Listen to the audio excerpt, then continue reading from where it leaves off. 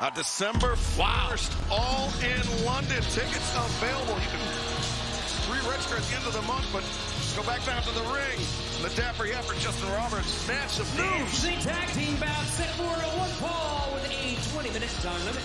Being accompanied by Jake Hager from Montreal, Quebec, Canada, at a combined weight of 397 pounds. Daddy Magic Matt Menard and Cool Hand Angelo Parker. The former members